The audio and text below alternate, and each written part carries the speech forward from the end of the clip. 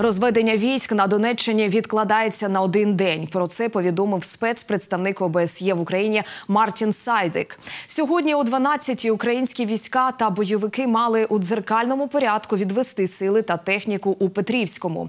Але представники так званої ДНР не підтвердили своєї готовності до розведення, таким чином зірвавши операцію та порушивши мінські домовленості. Нагадаємо, дату розведення військ встановили представники моніторингової місії ОБСЄ враховуючи дату останнього порушення режиму тиші на цій ділянці.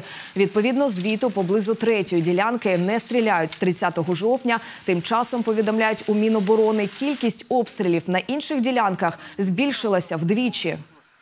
Минулої доби противник вдвічі збільшив кількість обстрілів наших позицій застосовував заборонені мінськими домовленостями міномети калібру 120 та 82 мм, озброєння бойових машин піхоти, протитанкові керовані ракети, гранатомети різних систем, великокаліберні кулемети та стрілецьку зброю. На превеликий жаль, наслідком такої активізації ворога стали втрати серед наших захисників.